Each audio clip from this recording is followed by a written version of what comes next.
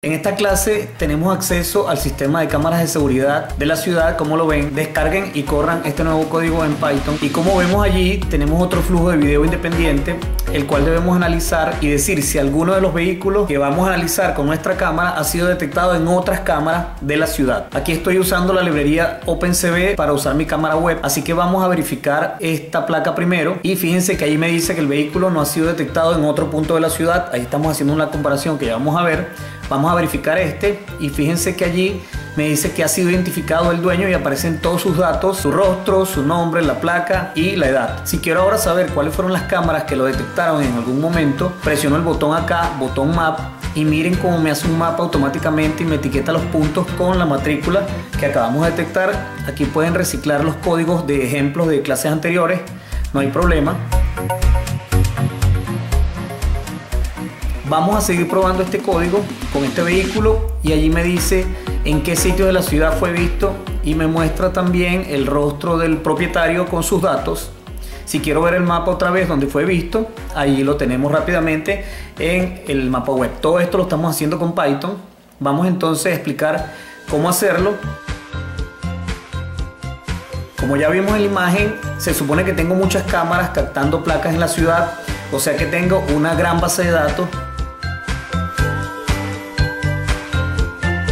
como esta que ven aquí, donde tengo el nombre de la cámara y un ID, que en este caso lo, he colocado como un orden seguido desde el 1 hasta el número de cámara eh, de cada vehículo, inclusive pudiera ser la propia placa, el ID, en este caso no he usado la placa como identificador de los vehículos, pero acá lo más importante, fíjense, que es la columna latitud y la columna longitud, que me dice dónde está cada cámara. Si por acá le damos un vistazo al fichero de Excel que usamos de prueba, tenemos cada vehículo si lo ven, y las coordenadas de la cámara que evidentemente lo captó. Por otro lado, la mayoría de las ciudades o de las municipalidades tienen estos registros con un ID de la persona, los datos de la persona o un número que identifica a la persona, la matrícula del carro y los datos personales del dueño. Tenemos sus datos, tenemos el segundo ID con su matrícula, el nombre, la edad y por aquí tenemos el número 3.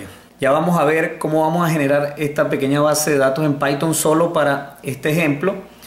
En este caso también tenemos las fotos, que es lo más importante de este ejemplo respecto a lo que hemos hecho en otras clases.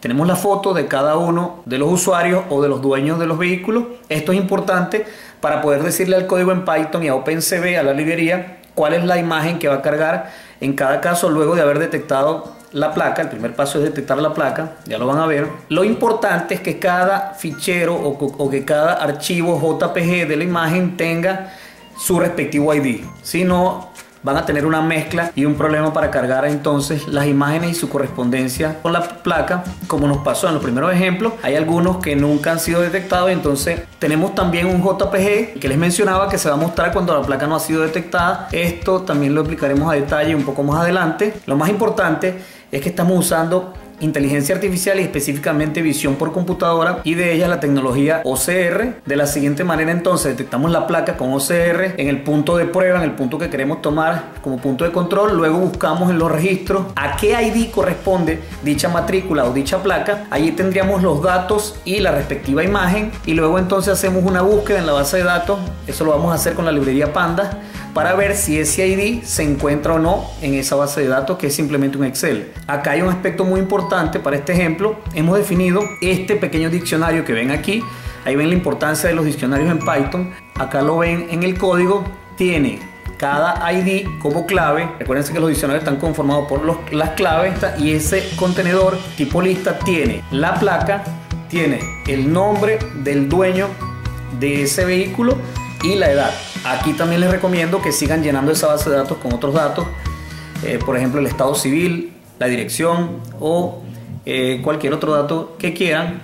Recuerden que mientras más información, mucho mejor. Si vamos a aplicar algoritmos de Machine Learning, entonces vamos a tener una base de datos muy rica. Yo solo quiero que en este ejemplo más o menos manejen eh, estos pocos datos y lo enfoquen, por ejemplo, para la posible prevención del delito en en la ciudad. Allí las ven entonces, tenemos solo seis ejemplos que les he colocado en este proyecto. Ustedes pueden hacerlo con más eh, rostro Si nosotros vamos al código en Python, vamos a revisar eh, de manera general, el código, el código es muy parecido al proyecto anterior. Por acá arriba entonces tenemos todas las librerías, eh, lo que les he recomendado siempre en la parte inicial del código importan su librería. Luego van a definir todas las funciones, aquí tenemos todas las funciones, algunas ya las hemos visto. Por acá tenemos una nueva función entonces que explicaremos en la siguiente clase eh, que compara y filtra los rostros que ya identificamos, eso lo vamos a ver más adelante. Finalmente, acá tienen la rutina para cargar la, cámara web. Este sería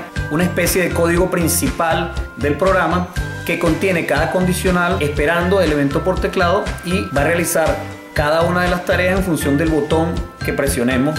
Ya tienen entonces el código del resto de los comentarios, entonces lo vamos a ver en la siguiente clase y hasta aquí esta clase. Ya saben que este curso lo pueden descargar acá en la plataforma Udemy, ahí está el código completo y está el curso, una sección completa con cada clase de cómo construir esta herramienta o este software, así que inscríbanse y muchas gracias a todos los que se suscriben al canal. Nos vemos en la próxima oportunidad. Chao.